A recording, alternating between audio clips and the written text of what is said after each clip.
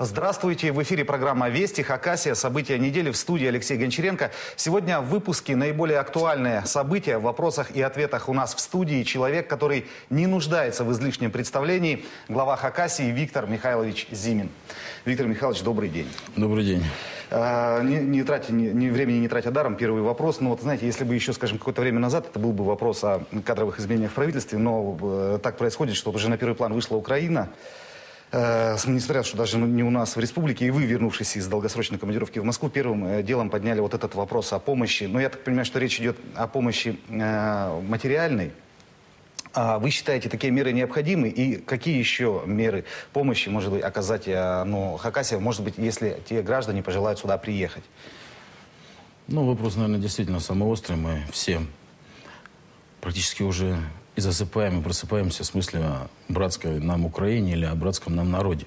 И здесь, наверное, не только вопрос политики, здесь вопросы милосердия. Ну, как, знаете, как у человека можно оторвать что-то родное. И, конечно, реакция населения, и не только Хакасии, а мне, конечно, порадовало, что республика, ну, тоже вся кипит, вся в эмоциях – я считаю, здоровые эмоции, здоровые эмоции или здоровые эмоции нации – это не то, что, и не только геополитика, хотя это тоже мы должны понимать, да, что президент Российской Федерации Владимир Владимирович Путин делает, ну, на мой взгляд, а мы видим весь срез нашей общественности, верные шаги. И, конечно, нужна поддержка.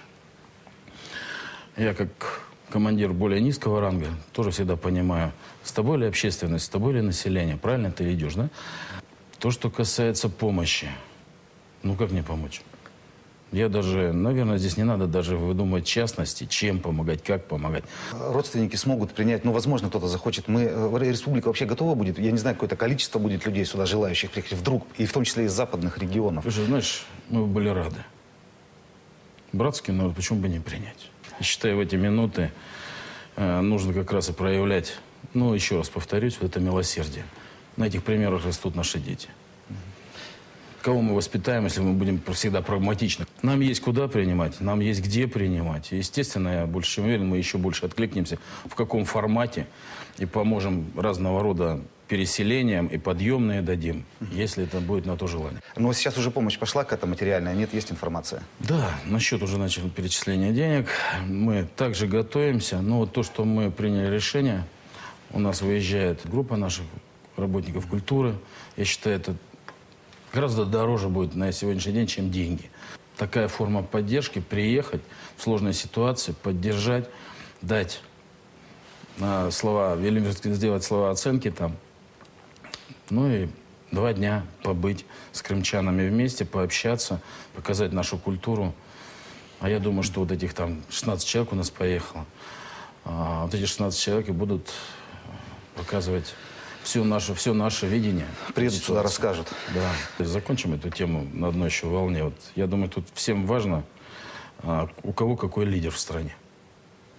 У нас вот был период, не, не так уж давно, мы переживали болот, но еще моменты. У нас в республике некоторые пытались рассказать, что они видят нашу страну в другом свете, в другом формате.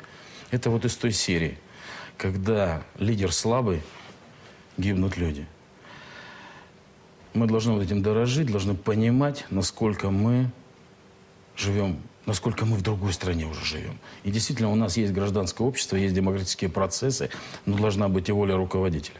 Чем обернулась на Украине или в Украине проблема слабого руководителя? Трагедией, гибелью детей, я имею в виду молодых людей. Сейчас будут пенсии, социалка упадет. Это еще только начало трагедии большой страны. И вот в таких моментах, я думаю, вот наш бы лидер совсем себя по-другому повел. Он бы пожертвовал собой. Мы здесь видим обратные процессы. Ну, нам, россиянам, нужно всегда в какой-то мере не то, что там боготворить, благодарить, но помнить, что мы живем с сильным руководителем, с сильной властью. И иногда, ну хотя бы иногда не плевать в этот колодец, который называется власть. Виктор Михайлович. Вот возвращаясь к вопросам э, власти. Вот в правительстве произошли э, изменения, э, которые многих просто ошеломили. Потому что это было и внезапно, и неожиданно, вроде ключевые фигуры Вот это все-таки ротация, она запланированная была или это произошло в силу каких-то обстоятельств? Ну, я могу так сказать, что, конечно, запланировано. Я давно держал в голове, и Юрий Анатольевич знал о том, что рано или поздно этот вопрос будет решен. Именно так должно было быть разделение первого заместителя главы республики и министра финансов. Потому что первый заместитель больше должен реагировать на экономику, на развитие, на старт, а министр финансов должен быть таким жестким, практически непробиваемым руководителем, который экономит, смотрит, дисциплинирует все остальное, все остальные части на экономики республики. Это нормальное явление. Но если так, пример привести, это просто председатель правительства и министр финансов. Это разных два человека должно быть. Один стимулирует, второй сдерживает. А вот в этой вот формуле, э, то есть вы сейчас на, на сессию Верховного Совета будете выносить кандидатуру, э, предложите первого заместителя Юрия Анатольевича да, Лапшина. Да. То есть здесь будет по принципу вы э, руководитель, э, у вас первый заместитель, по принципу президент, премьер-министр или как вот это вот? Если... Да, ну, принцип тоже, просто я не считаю это правильно, что нам нужно поделить составляющие политической глава республики отдельно, председатель правительства отдельно. У нас не такой большой регион, чтобы еще надувать, извините за выражение, вот эти щеки и говорить. Политически, да, правильно. А глава республики всегда может откреститься от, таких, от каких-то а, экономических процессов, которые не очень гладко шли. Потому что отвечает за это председатель правительства.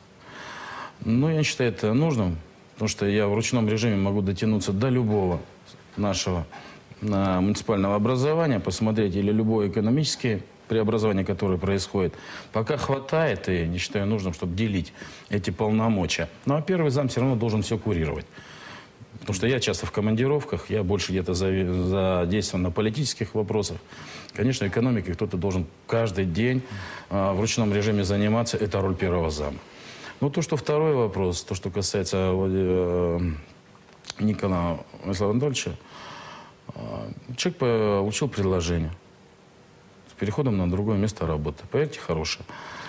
Здесь нормальное явление, ничего такого нет, что там кто-то кого-то снимал или унижал, или еще что. Нет, я очень благодарен ему за работу. Он действительно очень много сделал для республики.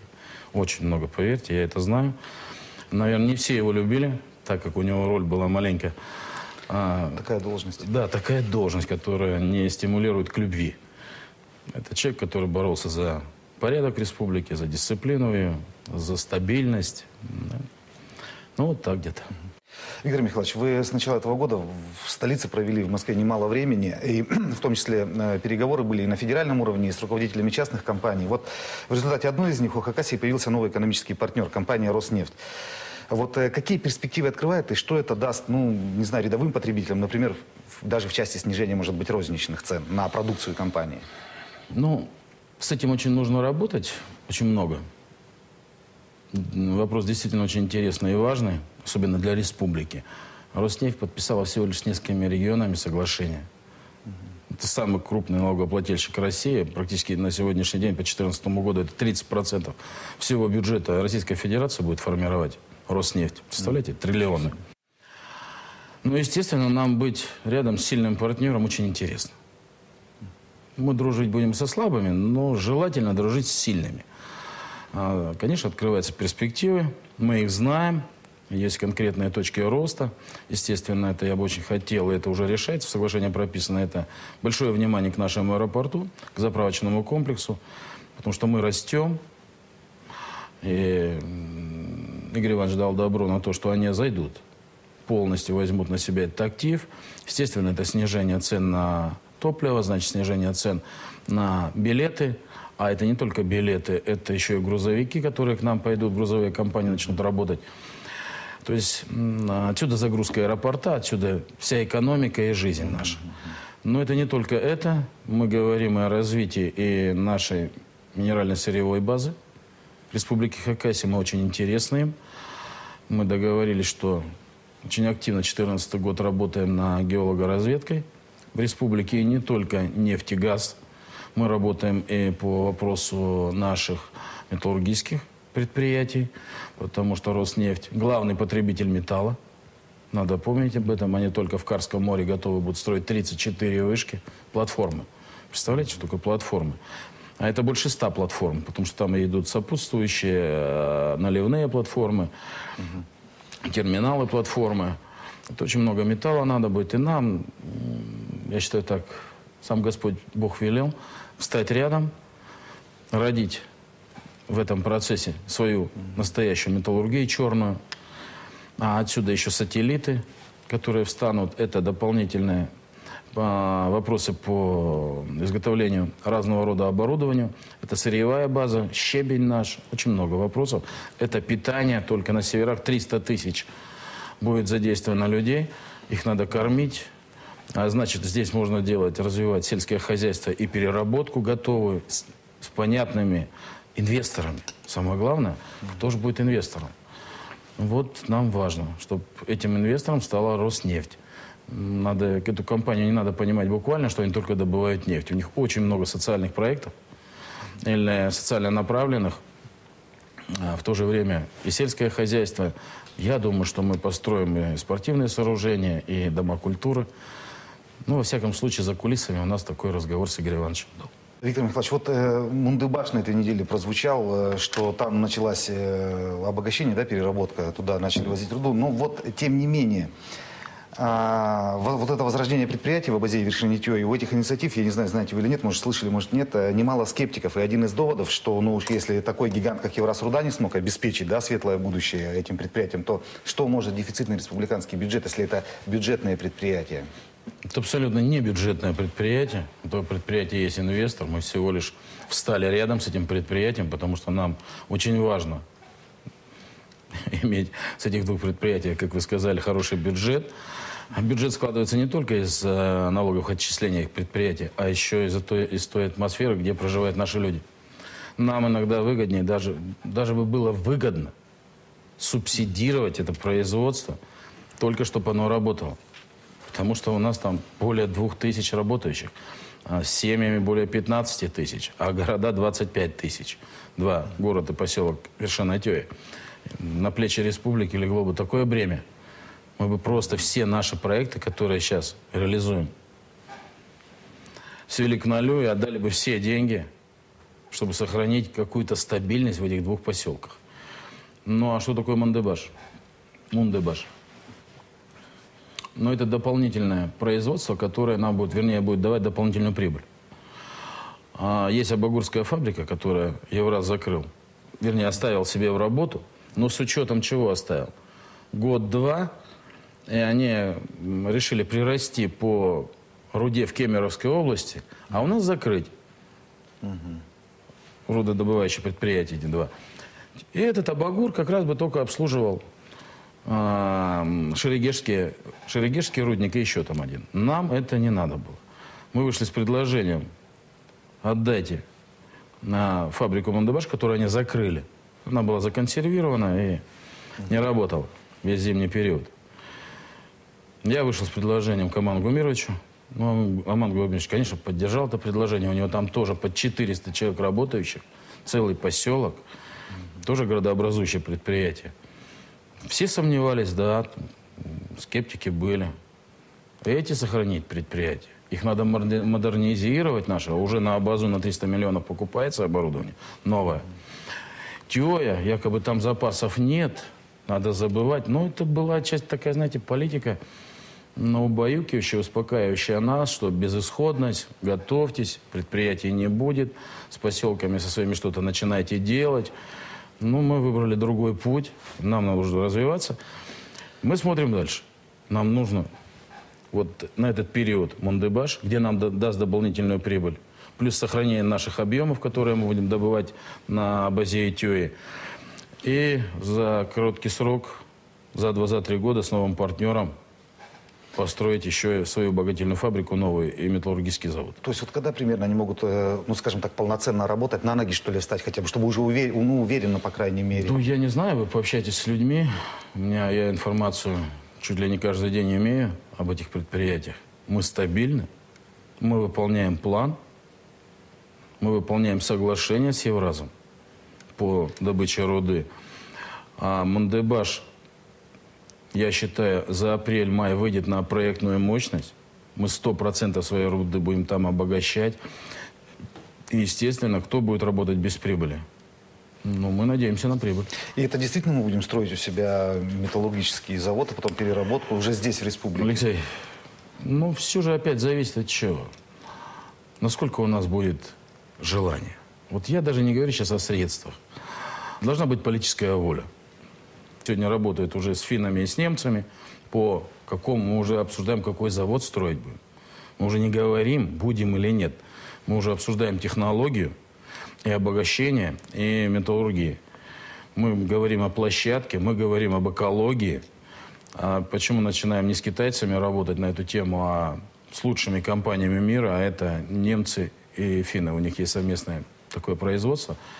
Не хочется тащить сюда грязь, нищету, а, которая на первом этапе даст какую-то номинальную прибыль, а потом будем собирать урожай так называемый. Виктор Михайлович, немного прервемся на рекламу. Ее время в эфире 3 минуты и 15 секунд. А после рекламы продолжим. Это программа «Вести Хакасия. События недели». И мы продолжаем. Сегодня у нас в гостях э, глава Республики Хакасия Виктор Зимин. Виктор Михайлович, вот еще один, как я понимаю, большой проект, это вот недавно тоже прозвучавший по строительству военного городка или модернизации его, в том числе с социальными объектами. Вот это, ну там какой-то вообще большой, а, а просто огромный какой-то проект, в том числе с, э, со спортивным комплексом. Вот это что? Это будет, ну чьей юрисдикции, э, муниципальное или там Министерство обороны, гарнизон, или это будет микрорайон какой-то городской? Не, ну конечно, это будет Министерство обороны. Э, министр лично сам побывал увидел, в каком состоянии наша воинская часть или воинские части. Это было год назад. Тогда уже решение принял, что давайте проектируйтесь, смотрите, как и перевооружение вести, и переоснащение, и замена вот этих старых всех хранилищ. Ну и, конечно, главное, что он обратил внимание, это в каких условиях живут солдаты. Столовая, казармы, в каких условиях служат офицеры. Поговорив, потом решение приняли, что он находится в городской черте, воинская часть, и сделать так, чтобы только занимались военнослужащие там. Спортзал, каток, бассейн, дом офицеров. Конечно же, должны воспользоваться и жители столицы. Ну, проект и так сегодня устроен, что будет доступ к этим сооружениям, все, что касается соцкульбыта. Ну, естественно, в столовую никто солдатскую Это ходить не будет. Есть генеральный план? Все, генеральный план утвержден. А, выход есть прямо с улицы. Можно заходить, выходить с спортсооружения, не попадая в воинскую часть. Да, очень большие деньги. Выделено, это еще не все. Это не крайняя точка, поставлена в рамках развития а, Абаканского гарнизона или тех частей, которые будут находиться в Хакасии, я дальше не буду озвучивать. Это не последние шаги. Я думаю, очень большое внимание будет уделено аэропорту нашему. Мы очень уникальны. Мы тоже с министром это обсуждали эти вещи. Кстати, аэропорт, э, и казалось, его вообще невозможно спасти. Сейчас речь идет уже о том, что там будет какой-то... Э, не просто вы настаиваете на том, чтобы э, было какое-то оборудование, а просто светосигнальное, которое бы позволяло самолетам просто приземляться. И не просто новое, а какое-то самое современное, которое по аэропорт сделает всепогодным почти. Ну, да, это правильный термин, Алексей, вы сказали, всепогодный. Мы... Я надеюсь, что мы успели в эту лодку сесть. Вот моя крайняя поездка в Москву, я очень убедительно просил э, вице-премьера Дворковича Аркадия Владимировича решить этот вопрос. Сейчас уже есть поручение. А, вот это оборудование позволит в любую погоду совершать взлет и посадку в республике. Что за этим стоит? Конечно же, в первую очередь это настроение наших жителей и гостей в то же время. А те компании, которые бы хотели на нас, извините за выражение, зайти к нам, угу.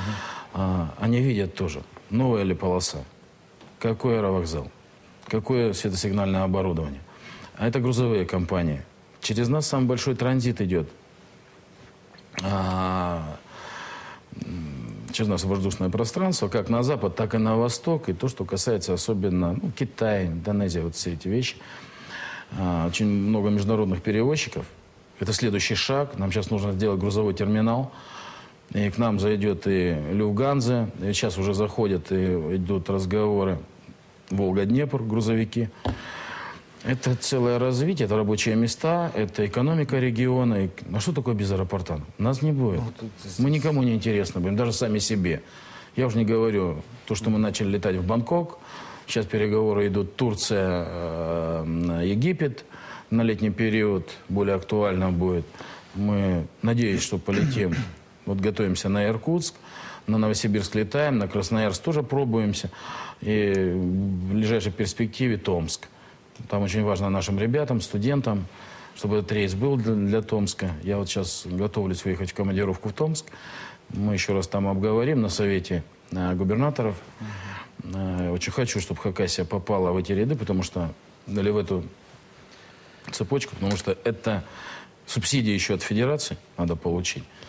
После этого, чтобы билеты были подешевле. Но очень надеюсь, что это получится. Виктор Михайлович, я уточню по военному городку. В какой срок это будет, э, вот если вкратце, реализовано, этот проект весь? Вот сейчас тот транш, который министр обороны Российской Федерации решил нам, ну это несколько миллиардов, эту программу нужно выполнить за два года. Особенно социальные объекты, их нужно построить за два года. Всего за два года? Да. Вот еще, которые объекты у нас планируются, которые уже взяли на себя обязательства. Как республика выполняет обязательства? Смотрите, у нас и э, музейный комплекс, а мы строим и э, больницу, корпус и перинатальный центр, и все это глобальные объекты, а мы понимаем, что э, в России это не маленькая нестабильная экономическая ситуация, в том числе она отражается и на нас, с нашими предприятиями. Тем не менее, это все надо выполнять. Вот как с этими а, проектами? Я, наверное, в другом аспекте отвечу. Вы знаете, очень важно, когда экономика региона слабеет, а, а мы 13-14 год планировали жить победнее, зная почему, да, у нас просел металл, угли, ценовая политика. Кризис сказался на, респ... на республике очень остро. А, в этот период очень важно привлечь инвестиции. У нас это получилось. Мы на этих инвестициях начинаем стимулировать свою экономику. И то, что касается перинатальный центр, и то, что касается музея, и то, что касается терапевтического корпуса, и то, что касается, казалось бы, уже совсем неподъемно еще детскую республиканскую больницу построить. И у нас еще два есть э, две инициативы, которые мы выходим к федеральному центру. И то, что касается вот достроить сейчас за... Я встречу провел, чтобы нам помогли еще из федерации школы наши достроить три, ДК достроить два, ну где-то девять объектов.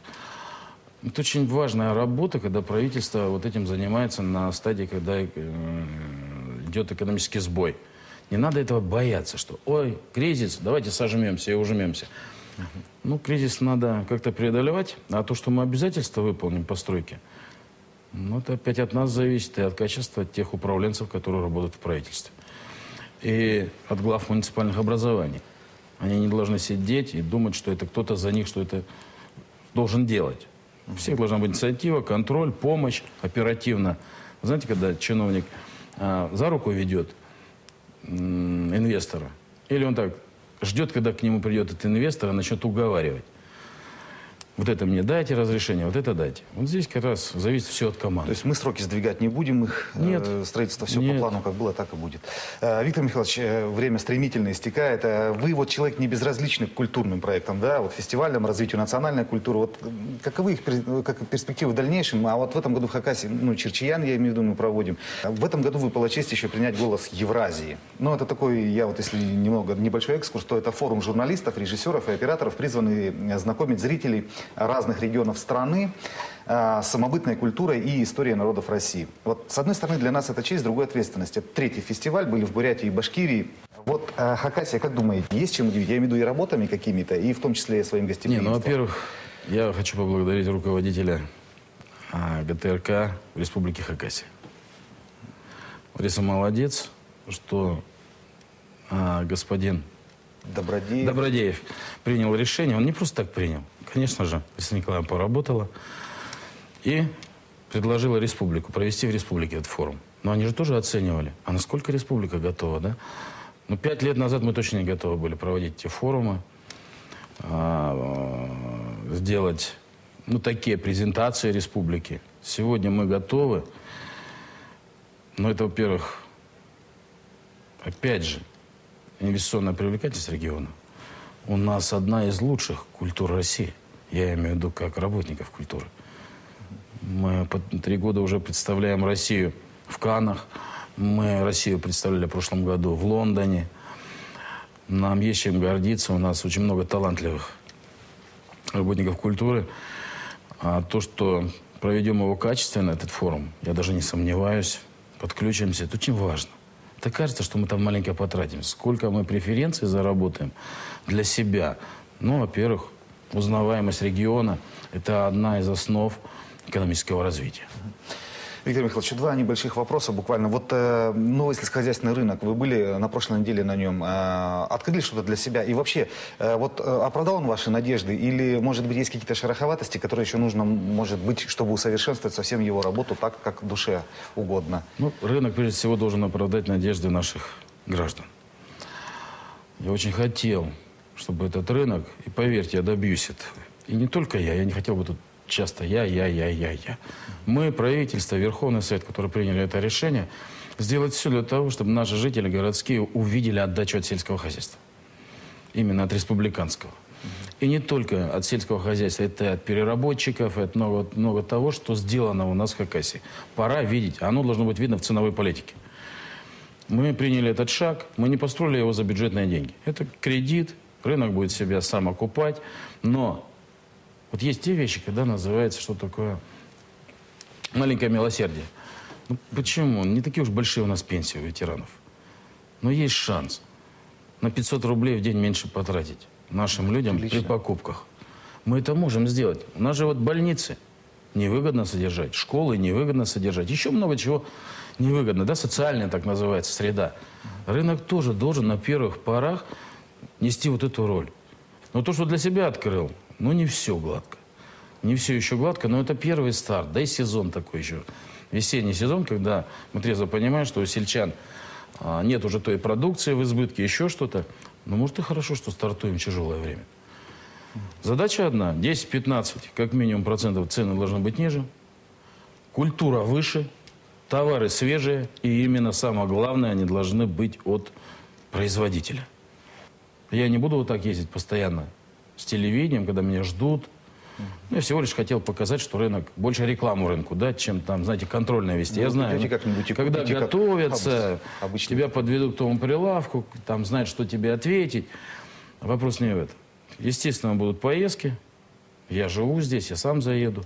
Я люблю на рынок заезжать, там, кое-что прикупить, мне нравится это. По э, тарифу на электроэнергию вы немало времени тоже уделяете этому вопросу, и она волнует, я думаю, что всех республики. Мы, я понимаю, имеем право, да, поскольку у нас, у нас каким-то образом забрали эти акции, которые у нас были, сейчас той организации нет.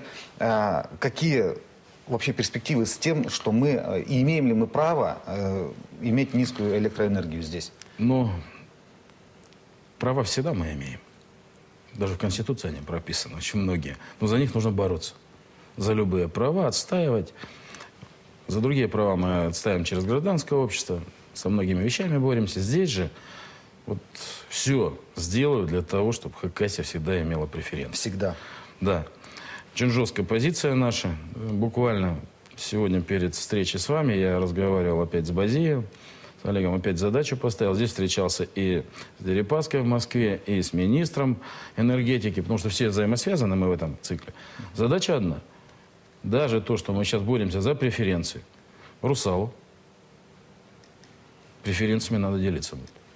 Эти преференции должны лечь, не лечь, а быть нацелены на граждан Республики Хакасия и на бизнес.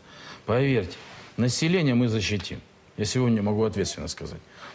Население мы защитим. Не будет никаких там великих колебаний в ценовой политике по электроэнергии. Сейчас уже задача другая – это я вот тут ответственно заявляю, что население пусть не переживает. Никаких скачков по электроэнергии, по тарифам для жителей республики не будет. Вопрос о бизнесе республики. У нас не настолько есть преференции у бизнеса. Они должны ими пользоваться. Это тоже самое мы с вами. Платя дурные деньги, извините за выражение, за электроэнергию, мы теряем прибыль. Прибыль – это наш бюджет, это наши школы, дороги, наши больницы. И задача одна Преференции республика должна иметь навеки, пока работает Саянашская ГЭС. Мы все понимаем, что за этим стоит. Я эту позицию высказал на крайнем совещании у вице-премьера и министра. И там человек 20 сидел. Говорю, не надо Хакасию считать таким же регионом, как все остальные. Я уже молчу о трагедии, о том, что мы в зоне затопления. Я эти преференции говорю, запишите нам и поставьте точку. Там боятся другого. Вот сейчас вся Россия возмутится, почему Хакаса можно, а другим нельзя. Не все в таких условиях живут. Мы 30% всей энергетики, гидроэнергетики даем стране. Мы имели реки, имели осетров и стерли, сейчас карасей гоняем по этим лужам. Виктор Михайлович, вот такой финальный вопрос. Вот в полной ли мере вас удовлетворяет то, что о вас говорят, в частности о вас и о работе правительства в СМИ? Я имею в виду объем и тот градус освещения информации. Который... Вы знаете, я как-то не болел никогда этим. Может, поначалу, первых два года, ну, очень остро реагировал, когда критиковали. Сейчас по-другому отношусь к этим вещам, когда вы, наверное, сами бываете свидетелями, когда после новостных блоков я на правительстве разбираю эти вопросы. Ну, как правило, не меня критикуют лично. Критикуют 90% кого-то за мной, кто стоит. Я же должен реагировать на это. Тогда для чего мы в этой власти? Обижаться, ходить, щеки дуть. Вы меня не трогайте, я великий. Вопрос в другом. Я не думаю, что... Ну, у нас пресса разумная, я смотрю, она адекватная. Если что-то и говорится, то говорится корректно, с намеком, Виктор Михайлович, обратите внимание, этот вопрос есть. И не отвечать, не реагировать, я считаю, это, ну, во-первых, не по-партнерски. Мы все одинаковые. Просто я на этот период избран губернатором. Завтра, Алексей, встретимся через определенный период. Я бы очень хотел, чтобы мы не врагами встречались, да, что а, нормальными людьми, которые живем в одном регионе, и каждый на своем месте что-то сделал для региона. Земляками. Земляками. Вот это очень важно. Виктор Михайлович, спасибо вам за это интервью. Это был Виктор Михайлович Зимин и программа «Вести Хакасия. События недели». Всего доброго.